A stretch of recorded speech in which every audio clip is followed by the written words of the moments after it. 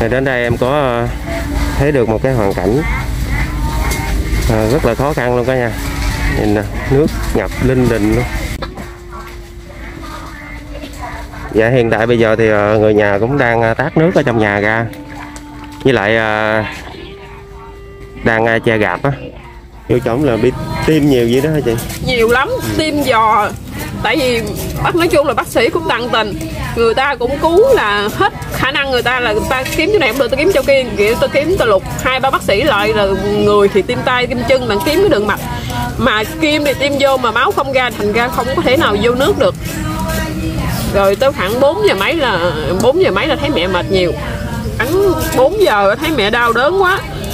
Là em cũng có nguyện, em nói là nếu mà mẹ hết, còn hết bắt nợ Trần Giang á thì cho mẹ em đi cấp thanh thản. Dạ. đừng hành xác mẹ em nữa. Còn nếu mà mẹ em còn bắt nợ cho mẹ em khỏe mạnh.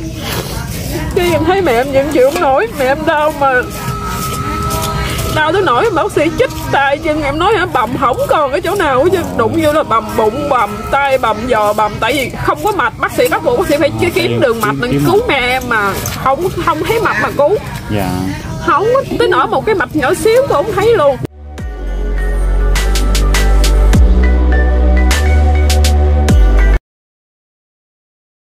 Dạ em xin chào cả nhà. Lời nói đầu tiên, em gửi đến cả nhà là chúc sức khỏe bình an Và gửi đến toàn thể quý khán giả đang xem trên kênh quý xe tộc của em. Dạ thì ngày hôm nay em có một lời giới thiệu của dân địa phương nơi đây. Em đến để mà chia sẻ gia đình của cô hai. Ờ, có một ờ, người con đi làm ở ờ, Đi làm việc ở chùa Phật học. Không may là bị mắc căn bệnh Đã không qua khỏi.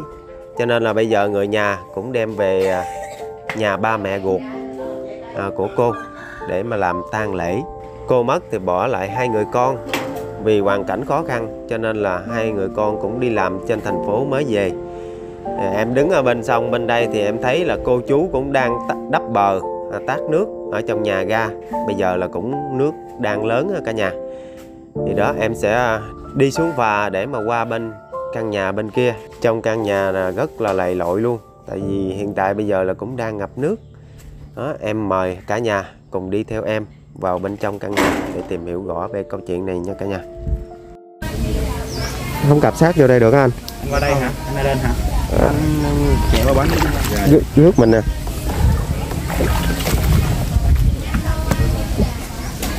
Đó, tụi em cũng à, đi qua một cái con sông để mà đến chỗ à, đám tang nằm bên phía bên kia đó cả nhà trong căn nhà thì à, thật sự là khó khăn luôn. Tại vì em thấy à, cái hàng cái áo quan cũng à, đang để ở ngoài. Để trước chưa có đem vô trong nhà nữa.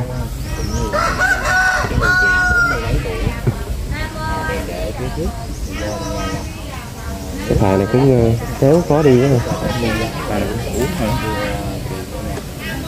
chính ra là nước này mấy ngày nay là nước nó, Ừ. nhiều lắm rồi đó nhưng mà nó còn nhiều chỗ thì nó giật bớt dữ lắm mà. Bờ, sao mà bên đây thì ờ, do là cái nền thấp nè cho nên là nước lớn nữa thì nó ngập vô trong nhà. Ngập vô tới trong nhà luôn hả? Hồi nãy thì mấy cô cũng đang ờ, tát nước tát nước trong nhà ra hết rồi đó cạn rồi đó. Đây, 50 tuổi trong ngôi nhà thì ờ, ba ba cái ờ, bên đây một cái mái nhà bên đó một cái mái hai cái mái ba cái mái mái nhà nào cũng lợp lá trên cả nhà cái nhà trước thì cũng đang ờ, lợp ton mà nó bị xé hết rồi. có con gái hả em đi lên được đó. ở đó xuống được luôn hả? Không được. Dạ. Dạ chị. Anh em cũng đang lội nước nè cả nhà. Té ra nghe trơn lắm đó nha anh qua đây. Gột dép nhà của biết nhà của chị đây đây đây đây. Đi vô trong đây luôn mà dạ. Ờ, còn đang để ngoài luôn nha đi ờ, bên đây nè. Kìa mấy cái mấy cô cũng đang ngồi trong kìa đi đi đi đường bên đây nè.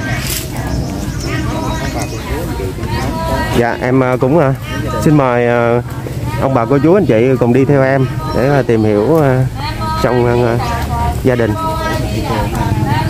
Bên đây nè nè anh. dạ. chào cô nha. Dạ chào mấy cô. Cô cô.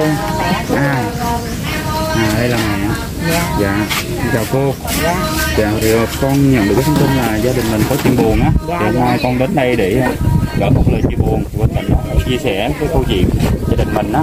Con nghe nói là gia đình của cô cũng đang gặp rất là nhiều khó khăn đúng không? Dạ. Rồi cô có thể cho con biết là cái chị làm như thế nào mà chị mất gì cô? Ngồi bệnh không có bệnh chân mạch đọt rồi xỉu ngang rồi cái đi ra nhà thương. Dạ. Rồi xỉu ngang rồi cái xỉu ngày hôm qua đó ngày hôm qua giấc sáng. Ờ. rồi xỉu rồi đem vô nhà thương rồi bữa nay thì chết. Dạ. Là chị ở quê hay là đi làm xa? ở chùa Phật học à, ở chùa mười mấy năm rồi Dạ là ở trong chùa luôn dạ hả? chùa nuôi em bé đó ở chùa Phật học 1 còn ở chùa học một rồi qua học hai vậy Là ở trong chùa nuôi những cái bé mà, mà... ta bỏ rơi dạ, đó ta bỏ rơi ha. Dạ. dạ. ta bỏ rơi đó từ khi mất rồi là chị không có nhà cửa gì hết nhà cửa thì như nhà mẹ ở đây À, nhà cô ở đây. dạ rồi đưa về đây là dạ đưa về đây mẹ ở đây không có nhà dạ rồi, rồi chị là có có con đông con có hai đứa nè một đứa con gái lớn nè. Dạ.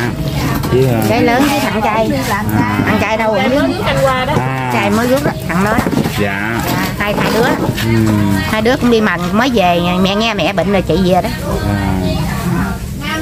Vậy chị năm nay chị tên gì cô? Hả? Chị nhỏ á? chết đó hả? À. quyên hồ thị quyên. Dạ chị Quyên. Chị Quyên năm mươi năm mươi tuổi. 50 tuổi rồi. Dạ Mấy đứa con của chị ấy là có gia đình hết rồi bà ha? Có. Dạ. mới ấy ấy thứ con thấy là con tài của chị là còn để ngoài sân là mình chưa đưa vô nhà. Chưa liệm chưa con kìa con nằm đó kìa. Ồ. tới bốn năm giờ mới liệm. À tới năm mới, giờ. mới chợ về năm giờ mới liệm. À, chưa có liệm. Dạ. Thầy nói đợi giờ hay sao ạ? Dạ giờ năm giờ Sau khi mà đưa chị ra bệnh viện á, thì bác sĩ có kết luận là chị bị gì không? Mà mà, mà như mất bị không à, xuất huyết não. Xuất huyết não. Dạ. trước đó là mình có đã có hay mà có cái bệnh đó không? Không. Nó như là hồi đó nó bị tai biến nhẹ. Dạ. Rồi nó gõ chùa cũng lâu lắm mười mấy năm rồi. Chùa bên người ta bỏ ở chùa mười mấy năm rồi có, có chị có có nhà không? Không nhà cũng nhà của cô này nè. Ừ, cũng ở nhà cô thôi Ờ, chứ không có nhà ờ, riêng. không có nhà riêng chồng Ờ. thôi rồi cái về ở với cô luôn. Rồi cái ờ, chủ chùa ông nó bệnh hơi bệnh bệnh tai biến đó. Dạ. rồi ông ngoại nó bằng công quả đó rồi ông chủ chùa ông thương á. Dạ. rồi cái ông kêu ở nuôi bé đó. Vậy là đó giờ ở trong chùa. Dạ ông chùa mười mấy năm rồi mười mấy năm trong chùa. Dạ. Để nuôi những em những cái bỏ rơi đó rớt ờ, bỏ người ta là bỏ làm lụm vô nuôi. Ồ, chị cũng làm việc thiện quá trời dạ thiệt thiện luôn trong chùa rồi khi mất là là áo khoan này kia là trong chùa hỗ trợ hay là như thế nào cô? không biết chưa biết nữa. Đem về đây chứ cũng chưa biết. Ờ, lo đây rồi cái mình cũng chưa biết làm áo sao khoan là mình đi xin là ở đâu đem về? Trong chùa đem về luôn? Ở ờ, nhà thương. À, nhà nhà thương. thương. Nhà thương đem về dạ. Bệnh nó nhà thương rồi cái nhiều quá rồi nặng quá rồi cái ờ, chuyện ấy rồi cái bác sĩ cứ đem về. À. con thấy cái căn nhà của cô sao mà nó ngập nước dữ vậy? Mấy năm ngập quỳnh vậy đó không có tiền cất nhà cậu ơi. Bây giờ nó mà không ngày hôm qua nãy đem về là nước là đây cũng lủng bụng lủng bổng rồi đè đắp tát kìa. Còn cái thao đó nữa kìa. À, đắp tát con thao kìa đó kìa. Đó đó đằng đó cái này đắp nữa dạ. Tát nước nãy giờ tát đó nước bây giờ muốn chết luôn kìa. Tát nữa đó nữa kìa. Dạ. Tát nước không á. Đắp vòng vòng vòng tát đó. dạ vậy là chị chị mà đi vô chùa gì đó có hay về thăm cô không? Lâu lâu cũng về như là đám cúng ba nó này kia nọ lâu lâu có về thăm về. Lâu lâu có về thăm? Dạ. Dạ. Rồi nhà cô ở nhà là cô sống với ai? Với thằng trai. À, cô người con ờ, trai. còn ờ, mà thằng trai nó cũng có vợ nó cũng đi làm. riêng nó làm. Ừ. rồi hôm bữa mà khi mà chị ngã bệnh gì đó ai báo cho tin cho cô hay? Ở ngoài chùa. Ở chùa báo. Ừ báo rồi chị ra. Dạ, lúc đó lúc cô ra đó là chị còn tỉnh không? Lúc đó còn tỉnh À, hay là không biết rồi. hôn mê luôn rồi không hả? hết biết rồi còn quậy quà quậy cửa quậy chứ còn không có còn biết gì nữa. dạ. Vô gọi đến là gì cô nãy giờ. Thương quá. Nãy giờ bà cô chỉ chỉ cho mấy tiếng con cũng xin chia buồn với gia đình của cô ha cô cố gắng. Cô có đông con không không có mấy đứa à? Mấy người con ha. Ừ. có gia đình hết rồi. Dạ. Dạ. Thì trong căn nhà này bà ở với ai? Thì ở với thằng nhỏ đó rồi thằng nhỏ giờ nó đi rồi đó. Nó đi cũng ra riêng nó cũng bằng hai chồng nó cũng làm viên là bà ở có mình lên à? Ở với à, nhỏ gái út. Dạ. mà gái út nó cũng đi làm. Thật giữ cô có, con. nè. thật hổng cô có nghe mà cái à, vụ mà anh đọt anh đọt là con của cô hai có- ờ con con hai cũng chết đó. Dạ bị bỏ là hai đứa con nữa. Bị cái gì à, cô hai cũng đột quỵ đó. Đột nó quỵ đưa nhậu rồi nó đưa nhậu nữa mới nổ luôn bây giờ nó ngã ra nó chết luôn. Cũng mới đây luôn á ha. Ờ năm rồi nè Năm rồi. mười, à, bữa 13 tết á. Là em em của của Em của em em của Quyên này em với chị Quyên chị Quyên cũng mới vừa mất. Dạ ông năm rồi ông năm rồi rồi. ông thì cũng mất rồi lâu rồi. Dạ. Ừ. năm mới năm rồi bữa 13 tháng 13 dạ ông mới vừa mất thì con trai cũng đổ bệnh vậy. Dạ. rồi tiếp theo cũng không bao, bao lâu nữa thì Ờ, lại dạ. tiếp tục là con gái. Trai ừ. Dạ, trời cho gia đình mà có nhiều biến cố quá trời luôn. Thì chị đây là, là con gái con gái lớn của của chị Quyên ừ, gái lớn cái thứ Vậy chị làm ở đâu chị?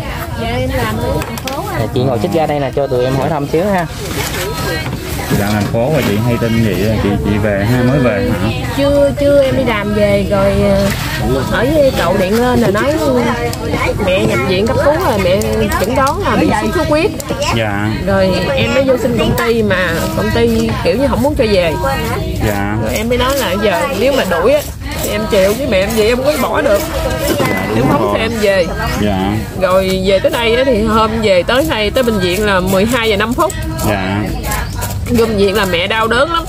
Mẹ cứ quậy mẹ đau đớn dữ lắm. Dạ. Rồi cái nói chung thức được là mẹ vẫn thức được. Làm như là mình nói thì mẹ vẫn nghe mẹ vẫn tiếp thụ được. Rồi mẹ nhìn thì mẹ vẫn nhìn nhưng mẹ không có nói chuyện được. Cái gì tới, tới cái kêu y tá qua kêu y tá qua là nói vậy cái cô y tá mới giải thích là mẹ bị xuất huyết não máu chảy lên chảy xuống thành ra mẹ bị đau. Mẹ Dạ. muốn dùng dãy cái tới khoảng 2 giờ 2 giờ là thấy mẹ khỏe khỏe một chút cái tại đi đường gì xa quá cũng bết. Dạ. mới ngã xuống nằm miếng cho em trai đứng lên nó thay thì nằm chưa được tiếng rưỡi nữa là bắt đầu dì út á dì út mới phát hiện là mẹ làm mệt nhiều thì mới kêu là giật mình ngồi dậy. Giật mình ngồi dậy thì lúc đó mẹ làm mệt rồi. Rồi mạch mẹ là không còn gì hết trơn. Cái kêu y tá qua là lúc đó y tá báo là mạch của mẹ là bị dở hết. Não rồi dở hết không còn gì hết mà không vô được. Kiếm từ cái mặt nhỏ gì cũng không vô được. Dạ. Rồi cái tới khoảng ừ, thêm nửa tiếng sau rồi có bác sĩ chuyên khoa xuống. Bác sĩ chuyên khoa xuống là khám là huyết áp mẹ còn có chín à. Mấy quả tóc đẩy mẹ vô phòng cấp cứu nâng cấp cứu cho mẹ rồi đó một hồi mới có một anh bác sĩ em không biết là anh đó là chức gì sao không biết nhưng mà đi vô nói với em á hỏi em là gì em nói là em con gái thứ hai. Dạ. Anh mới nói là em thông báo cho chị biết là mẹ có thể 95 phải 95 phần trăm không thể qua nổi. Dạ. Bây giờ người nhà chuẩn bị tinh thần là một á, là cho mẹ về nhà có mắt ngủ mắt ở nhà. Cái ấy? Em mới hỏi ý kiến ngoại em rồi ý kiến của dì em mấy dì em em là hỏi nói chung hỏi ý kiến hết thì có có đồng ý là cho mẹ về. Rồi vậy là đưa mẹ về về về tới đây em còn ốp oxy đưa mượn xe cứu đưa về về tới đây em ốp oxy về mẹ về tới đây mẹ mới chút hơi thở thì lúc 11 giờ 17 phút. Là lúc ống lúc đó là người về đem ống ra cho mẹ đi thanh thản. Dạ. Nói chung là chuyện nó tới đột ngột quá cô không có trở tay kịp. Chị cũng không có ngờ là, là không có ngờ tại vì đêm đêm thứ hai á là mẹ còn điện. Mẹ điện mẹ nói là tết nay mẹ về. Tết nay về đi con rồi đưa mấy đứa cháu mẹ giữ cho cho mấy đứa đi làm. Rồi cái nói dạ tết con về rồi có gì mẹ với ngoại giữ phụ con con đi làm tại công ty mà cái mày vô biên chế không có được nhiêu tiền hết. Dạ. Rồi cái mẹ mới nói vậy. Nói vậy xong rồi cái hai mẹ con nói chuyện bình thường.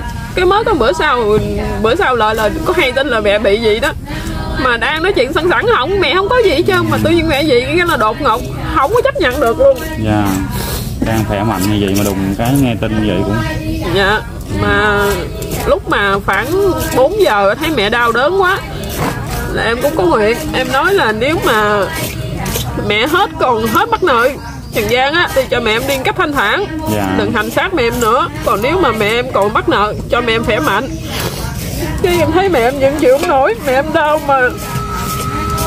Đau tới nỗi bác sĩ chích tay chân em. Nói hả bầm hỏng còn cái chỗ nào chứ. Đụng vô là bầm bụng bầm tay bầm giò bầm tại vì không có mạch. Bác sĩ bắt buộc bác sĩ phải kiếm, kiếm đường mạch để kiếm cứu mẹ em mà. Không không thấy mạch mà cứu. Dạ. Không có tới nỗi một cái mạch nhỏ xíu cũng không thấy luôn. Trong cái lúc mà bác sĩ báo vậy khoảng nửa tiếng sau là em thấy mẹ em tự nhiên là con người nó xanh chứ nó tím tự tự nó mũi nè. Nó lên tới trán là nó xanh hai con mắt là nó tím hết rồi. Tha thịt rồi thấy tím hết nhưng mà từ hút đổ xuống thấy mẹ em vẫn còn hồng. À, cái nói mẹ thôi giờ bác sĩ bác sĩ tư vấn lại giờ có nên cho bác về không? Nếu mà cho bác về á thì à, tại giờ cái đó là ái coi cho nhà lựa chọn thôi. Dạ rồi em mới út em mới điện về hỏi ngoại em, hỏi dì ba em, hỏi người này người kia là có đồng ý xin cho mẹ về không? Thì dì ba em nói là xin về đi, lỡ có mắc thì cũng cho mẹ mắc ở nhà cho ấm áp. Rồi đồ xin về xin về tới đây mà mẹ em tới giờ mẹ em còn mẹ em chết được 4 tiếng, bằng 4 tiếng là mẹ em vẫn còn mềm thì mẹ em chưa cứng. Trong cái lúc mà bác sĩ báo vậy, rồi khoảng nửa tiếng sau là em thấy mẹ em tự nhiên là con người nó xanh chứ nó tím tự tự nó mũi nè. Nó lên tới trán là nó xanh hai con mắt là nó tím hết rồi. Tha thịt rồi thấy tím hết nhưng mà từ hút đổ xuống thấy mẹ em vẫn còn hồng. À, cái nói mẹ thôi giờ rồi? bác sĩ bác sĩ tư vấn lại giờ có nên cho bác về không? Nếu mà cho bác về thì à, tại giờ cái đó là ái coi cho nhà lựa chọn thôi. Dạ rồi em mới út em mới điện về hỏi ngoại em hỏi dì ba em hỏi người này người kia là có đồng ý xin cho mẹ về không? Thì dì ba em nói là xin về đi lỡ có mắc thì cũng cho mẹ mắc ở nhà cho ấm áp. Rồi đồ xin về. Xin về tới đây mà mẹ em tới giờ mẹ em còn mẹ em chết được 4 tiếng bằng 4 tiếng là mẹ em vẫn còn mềm thì mẹ em chưa cứng. Không phải 4 tiếng còn mềm đó là do thuốc men ở trong cơ thể á. Dạ. chứ phải mà bị à, bị đổi sắc mặt. Ừ, bị thuốc men trong cơ thể á. Dạ. Bị tím tím nữa nữa từ ấy trở dạ lên nhưng mà giờ là nó nói chung là đều hết rồi chứ lúc mà như là mẹ em chờ em em về thôi giờ em về là ấy ống xong là như là đều hết rồi. Giống như là mẹ em chết ra đi một cách cũng thanh thản em cũng mừng. Giờ đang tại đợi, vì đang đợi nói chung là mẹ em em về rồi em trai em thì nó mới đi đâu đó đó. Là chị còn một đứa em gái nữa hả? Không em trai em chỉ có hai chị em một đứa à em hai trai chị em thôi. ha. À, chị em thôi. Nãy nghe đâu rồi có người đứa con gái à mà nghe em, em trai em là gái thứ hai còn em À. trai em nãy rước mấy anh qua đó. Dạ. Rồi chị đi làm xuống cho nó rồi, rồi chắc lâu lắm mới gặp mẹ được lần ha bình thường á là mẹ con chỉ điện thoại qua zalo nói chuyện còn tết mới về lần tại em cũng có ba đứa con nhỏ. Ba đứa con em nhỏ thì lúc nào chồng em cũng bệnh nữa thành ra có ơn em mưu sinh là thành ra cũng khó khăn. Dạ. Năm mới về được thăm mẹ một lần hay là đám tiệc hay là lễ lộc gì đó mới về thăm mẹ một lần thôi chứ bình thường em không được về thoải mái. Tại công ty giờ nó vô biên chế thì cũng khó khăn lắm. Gia đình bốn năm người mà có anh chị là chú chú cột chồng cũng à. mặn nhưng mà kiểu như sức khỏe ông không còn rồi ổng từ bị covid tới giờ đó rồi Ờ. ổng bị ảnh hưởng covid đó ổng cứ khó thở riết à. Rồi ổng mặn được nhiêu mặn à, phụ em nhiêu phụ còn nhiêu thì em mặn em gồng. Dạ. Vậy là một năm nay là cái lần cuối cùng mà chị gặp mẹ chị là à, hôm trước hai tay tháng 9 là con em bị nhập viện. Hai tháng 9 năm năm vừa rồi này là con bị nhập viện á. Là mẹ em có ra thăm rồi mẹ con có gặp nhau lần đó là ấy chứ tới lần này đó. Ồ là tính tính là tết nó về mẹ con về nặng ấy đó. Mà giờ vậy? Như lần cuối là chỉ được nói chuyện qua điện thoại thôi đúng không chị dạ, ha? nói chuyện bữa thứ hai từng rồi thứ hai vừa rồi đó là có nói chuyện qua điện thoại. Do hoàn cảnh khó khăn nên là phải đi làm suốt rồi đó. Chị thì đi đi làm công ty hả? Dạ em làm công ty. Nghỉ này kia cũng khó lắm. Xin đi làm phép công- xin phép không có được nghỉ đâu. Xin phép là công ty nó nó làm khó mình tới nỗi là mình mà nghỉ là nó rút thẻ mình.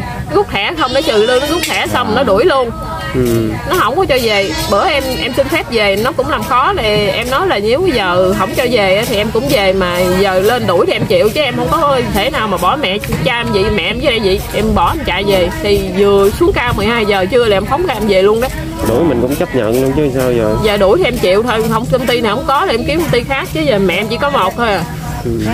Dạ em dạ. trai em nè trai có gia đình chưa chị? Nó mới vừa cưới vợ luôn á. À, mới vừa cưới vợ luôn. Đây. bà ngồi xích ra đây đi bà ngồi xích ra đây đi. Ừ.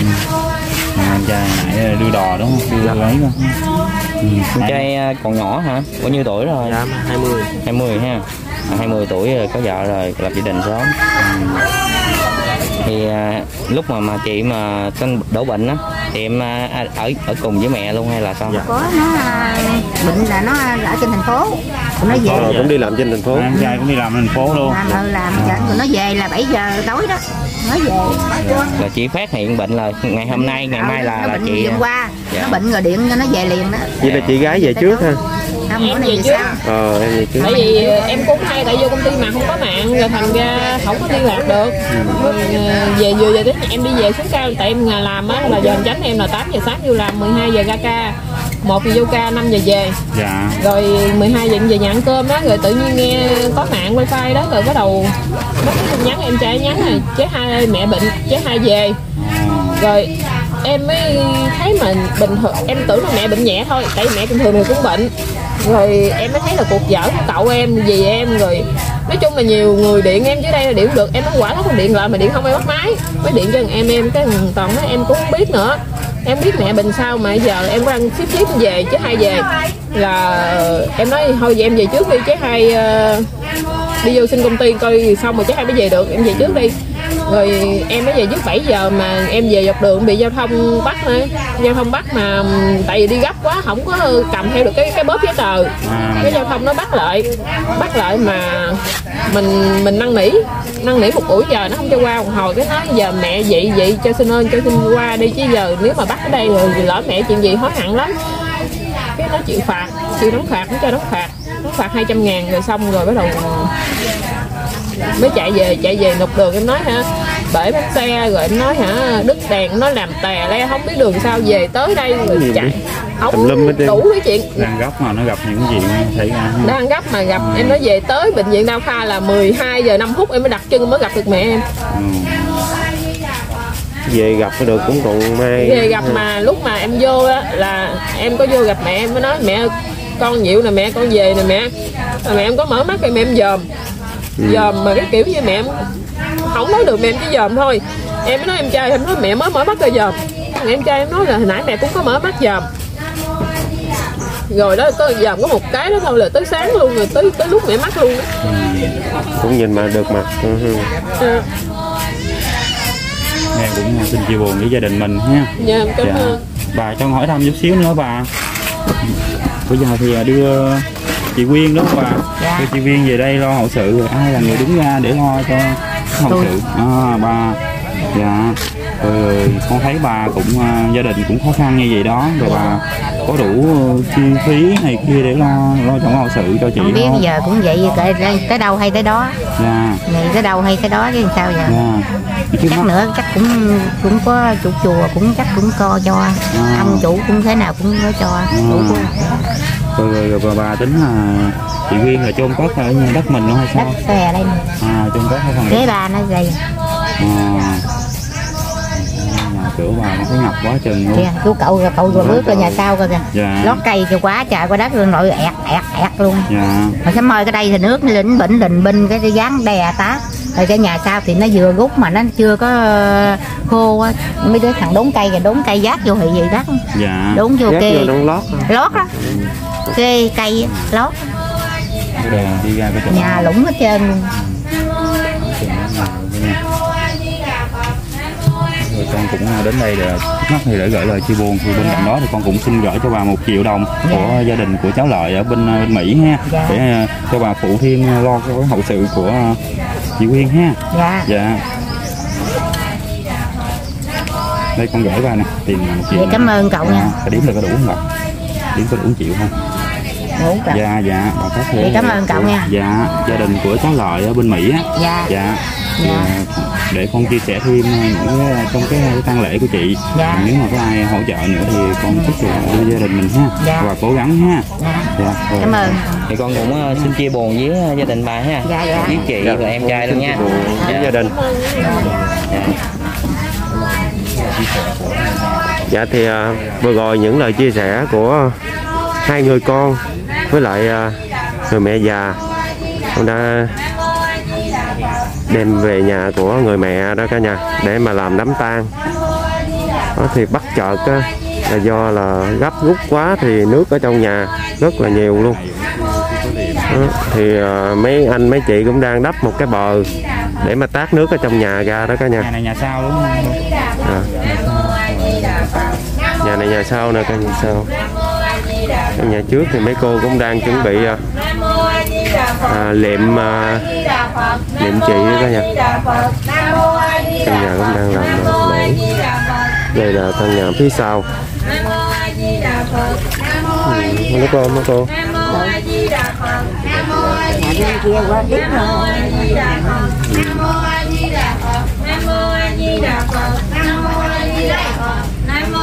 Mấy cô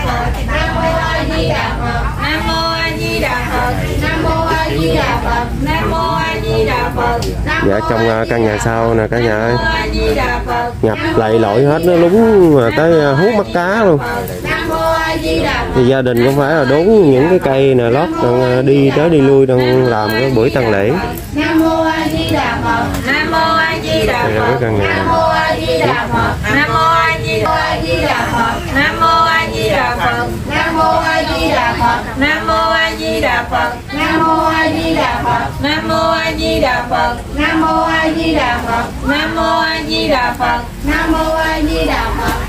Mình sẽ đi à, ra phía sau căn nhà Nam mô A Di Đà Phật. trong căn nhà thì cũng rất là tối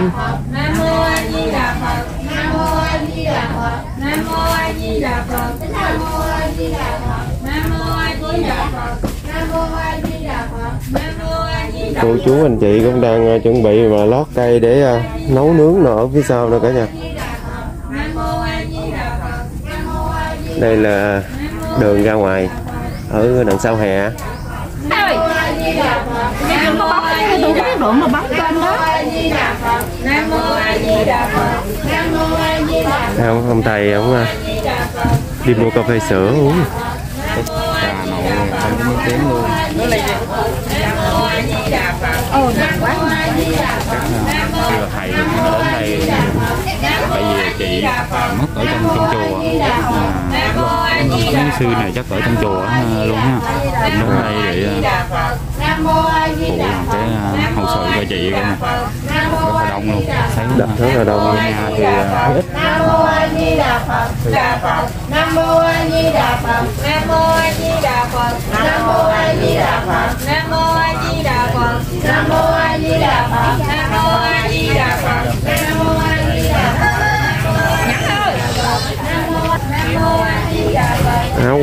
cũng đang để ở à, phía ngoài.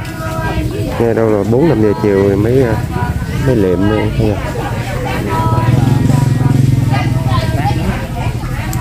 và trước cửa nhà của cô hai.